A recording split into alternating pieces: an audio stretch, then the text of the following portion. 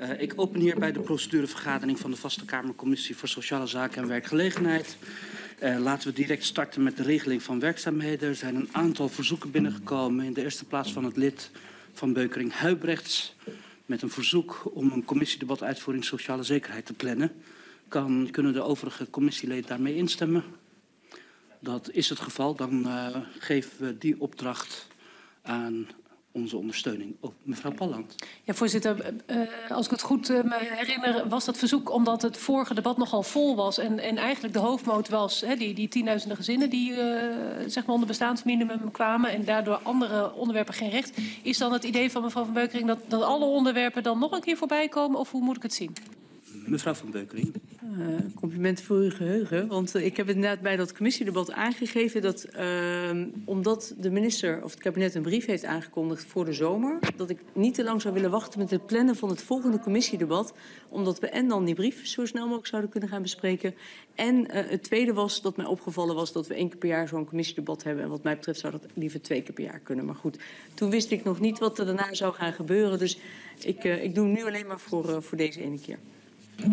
Dus um, er is in ieder geval steun voor het verzoek om een commissiedebat uitvoering sociale zekerheid te plannen. En de Griffie zal daarvoor een gepaste datum rondmailen via Parlis. Tweede verzoek op de regeling van werkzaamheden van de combinatie de heer Van der Leem, mevrouw Matoeg van de fractie van GroenLinks... met het verzoek om de staatssecretaris Fiscaliteit en Belastingdienst uit te nodigen voor het commissiedebat ZZP. Uh, is daar bezwaar tegen?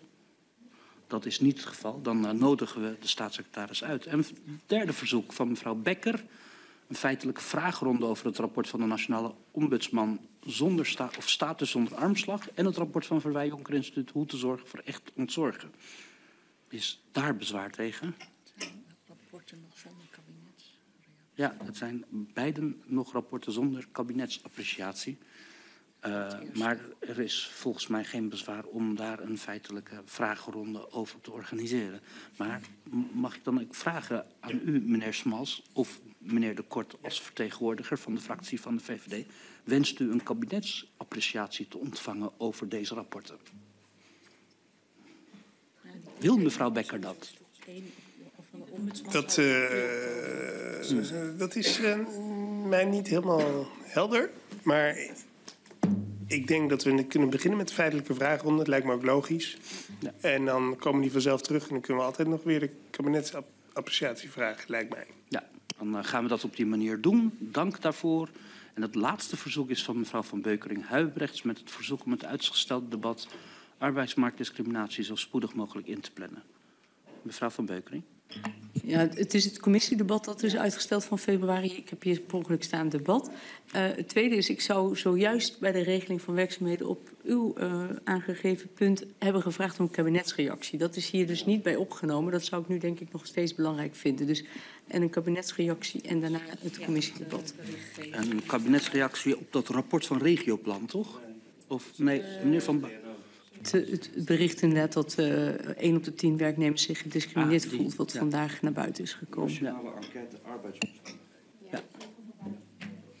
Dan uh, gaan we dat meenemen. Uh, en uh, er komt dus een datum om dat debat, commissiedebat arbeidsmarktdiscriminatie in te plannen. Meneer Van Builen. Ja, is er, is er een indicatie van waar ik aan moet denken qua hoe spoedig mogelijk? Wat is daar... Wel, het is natuurlijk aan de commissie. Wat, wat wenst u?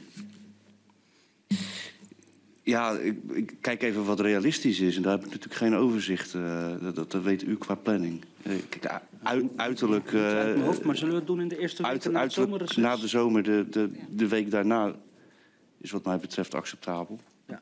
Dan proberen we te mikken op de eerste weken na het zomerreces. Zeg maar zo begin zomerreces voor Prinsjesdag. Oké. Dan gaan we naar agenda punt 2, dat is de brievenlijst. Zoals gebruikelijk gaan we daar pagina gewijs doorheen. Pagina 1 zijn daar op- of aanmerkingen, behalve uiteraard de laatste twee punten die ter bespreking zijn. Dan pak ik meteen zaak 7 bij de horens. Dat is een verzoek om een manifest aan te bieden. Kan de commissie daarmee instemmen? Ik zie mevrouw Van Beukering en eigenlijk alle andere commissieleden instemmend gebaren. Dus dan gaan we dat mededelen aan uh, Woman Inc. te Amsterdam. En dan zaak nummer 8 uh, is een uitnodiging voor een werkbezoek bij het UWV in Amsterdam. Willen, wensen de commissieleden gebruik te maken van dit aanbod, mevrouw Palland?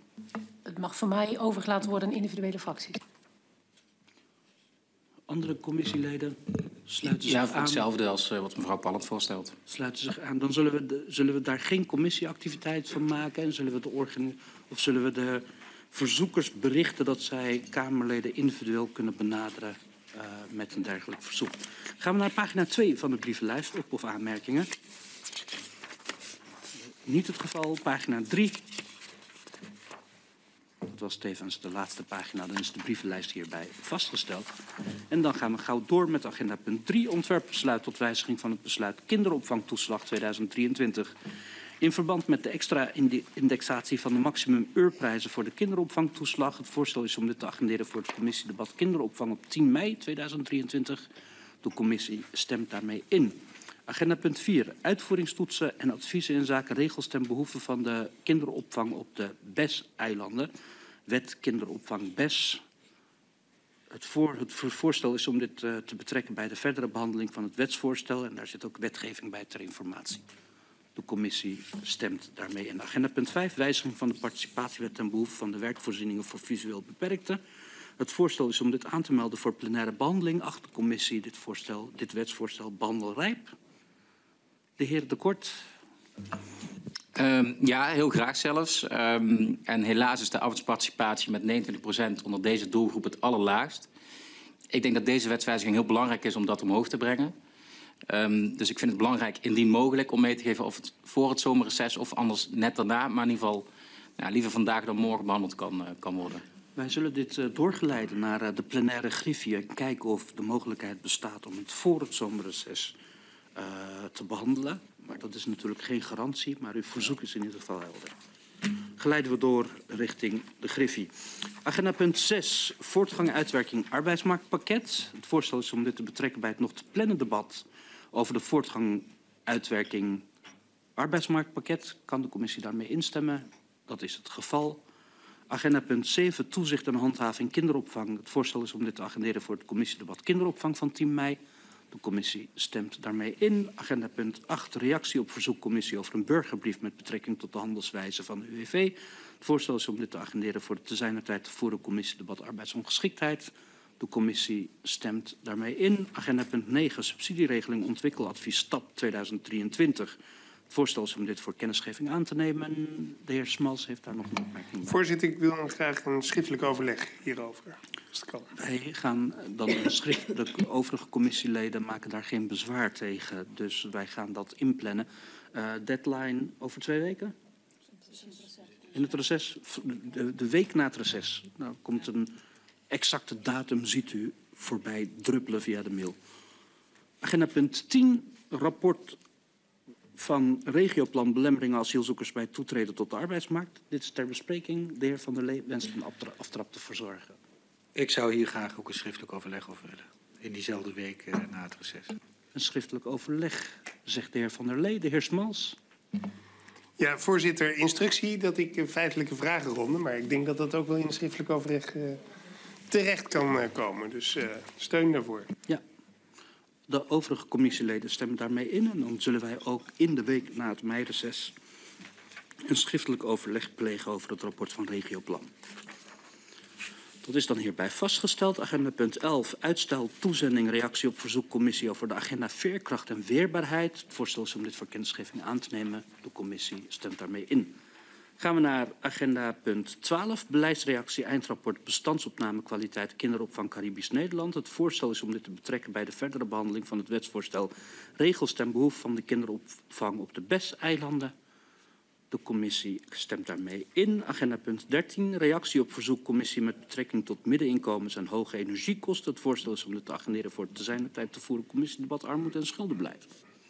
De commissie stemt daarmee in. Agenda punt 14. Appreciatie van de motie van het lid van de Plas over de stapregeling per direct openstellen voor AOW'ers die actief zijn op de arbeidsmarkt. We hebben, dit, we hebben hier reeds over gestemd bij de stemmingen van 4 april 2023. Agenda punt 15, beantwoording vragen commissie over het meerjarenplan zelfbeschikking 2022-2025. Dit is ook reeds betrokken bij het commissiedebat inburgering en integratie van afgelopen week. Um, dan stellen we dat op die manier vast. Agenda punt 16, verzamelbrief inburgering, daarvoor geldt exact hetzelfde. De commissie heeft daar kennis van genomen. Agenda punt 17, antwoorden op vragen commissie over de uitvoeringsbrief inburgering.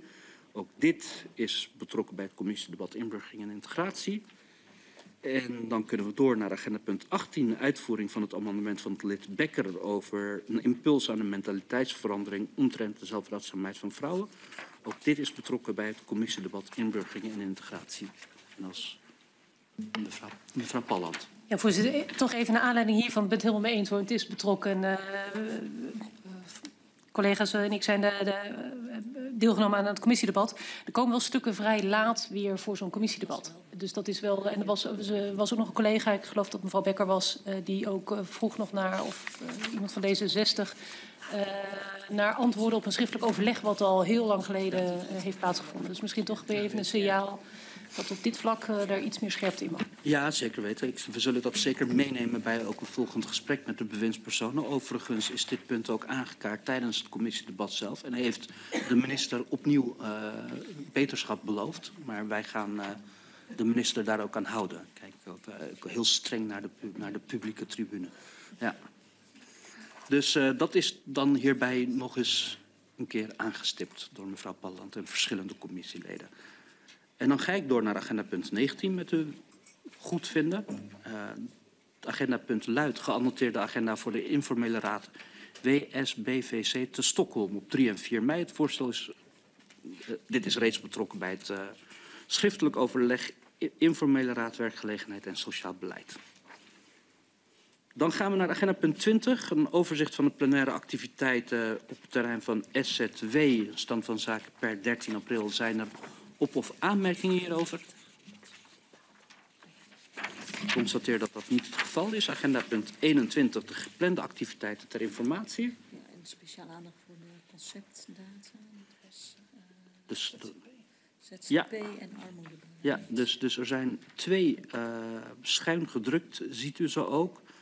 7 juni het commissiedebat ZZP is in concept gepland en op 29 juni een commissiedebat armoede en schuldenbeleid. Mevrouw van Beukering.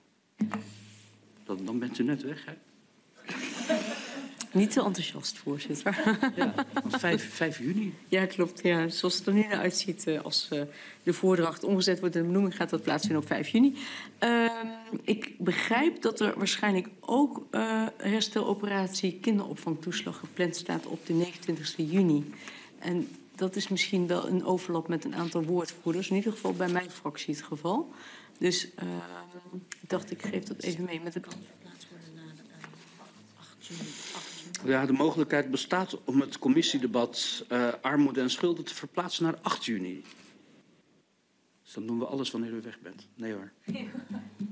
Dat was ook bij 19 juni. In plaats van die formele raad of als extra? Of, uh, de extra die dag? Ja, die formele raad, dat bestaat. Dat is ja, inderdaad, s ochtends er zit geen tijdsoverlap. Ja, maar... de commissie bestaat zeker uit. Voor de zomer. Voor de zomer. Ja. En kabinetsreactie was dan. Ja, ja, ja, ik vind het prima, 8 juni. Ja, 8 juni, ja, meneer Van der Lee? Nou, uh, 8 juni is ook de geplande datum voor het debat over de voorjaarsnota. En daar geef ik in ieder geval dan prioriteit aan. En dat zal voor een deel ook gaan over koopkracht en armoede, by the way. Ja. Nou, um, uh, het, het, wordt dan wel heel lastig om een geschikte datum te vinden ja, ja. voor het zomerreces. Dus um, dit, zijn, dit zijn de twee data. Uh, het, is, het is als de commissie wenst om het nog voor het zomerreces te doen, dan is het waarschijnlijk echt een van deze twee data. Waarbij we de Griffie natuurlijk kunnen vragen om een uiterste zoektocht te doen naar eventueel een nieuwe datum. Maar dat betekent dat we in de avond zouden moeten zijn. Maar dat wordt zelfs al moeilijk, wordt vanuit de ondersteuning aangegeven. Dus, dus als de commissie aangeeft, we willen uh, het voor de zomer, dan is het een van deze twee data. Anders is het nou, de, na. Maar dat, dat, dat uh, ik denk dat we daar vandaag geen definitief standpunt over in, hoeven in te nemen. Dus dat we dat verplaatsen naar een volgende commissie of procedurevergadering. Maar Ja, laten we het voorlopig even staan zoals het staat ehm, op eh, deze lijst. 29 juni. Maar mocht eh, eh, de armoedeschulden naar 8 juni verplaatst worden, dan zou je eventueel die 24 juni, 28 juni voor de uitvoering sociale zekerheid kunnen Ja. inplannen. Maar goed, Ja, dat, eh, dat is dan een beetje puzzel. ja. Ja. Maar goed, 21, agenda punt 21 stellen we op deze manier vast. Agenda punt 22, de ongeplande activiteiten. Zijn daar op- of aanmerkingen over? Ik constateer dat dat niet het geval is, dan is dat hierbij vastgesteld. Agenda punt 23, voorstel spreektijden, nota-overleg, initiatiefnota van het lid Kat over steller uit de schulden op 12 juni. Eh, u heeft dit eh, inmiddels doorgekregen via een stafnotitie. Daar kunt u mee instemmen. Agenda punt 24, uitkomst van een e-mail-inventarisatie over deelname aan technische briefing over het onderzoek naar private equity en de kinderopvang. Daarvoor hebben zich een aantal leden aangemeld. Dat zijn mevrouw Van den Heel van de VVD, mevrouw Sala van D66, mevrouw Palland van het CDA, mevrouw Katman van de PvdA en de heer van de ChristenUnie. Dus eh, deze activiteit zal doorgang vinden. Dank daarvoor. Oh. ja, dat is al geweest, 13 april. Dat eh, klopt, dat was vorige week. Excuseer. Agenda punt 25, uitkomst e-mail-inventarisatie, aanmelden rapporteurschap jaarverslag SZ2 2022. Daar waren geen eh, aanmeldingen voor, dus eh, geen rapporteur voor het jaarverslag SZ2. Agenda punt 26, voorstel ronde tafelgesprek winsten en lonen. Het voorstel is om in te stemmen met het uitgewerkte voorstel van, het, van de voorbereidingsgroep van het ronde tafelgesprek over winsten en lonen. Ehm, kan de commissie daarmee instemmen, mevrouw Van Beukering? Voorzitter, ik vind het een heel mooi eh, voorstel. Ik vroeg me nog iets af. Ehm, ik heb nu even net niet voor mijn neus, maar het blokje werkgevers-werknemers staat volgens mij in FNV genoemd. En ik vroeg me af, is het een idee om daaraan toe te voegen? Dus niet in plaats van een andere vakbond. En dan zat ik bijvoorbeeld zelf te denken aan alternatief voor de vakbond, en dat is de AVV. Om eens een keer een iets ander geluid ook aan tafel eh, te krijgen. Dus eh, is een suggestie. Eh, ja, FNV, eh, VNO, NCW zien we dan aan tafel. Daar kunnen we bij wijze van spreken nog eh, eh, een organisatie aan toevoegen. En uw voorstel is om dat eh, te laten verzorgen door AVV. Kan de commissie daarmee instemmen? Mevrouw Palland?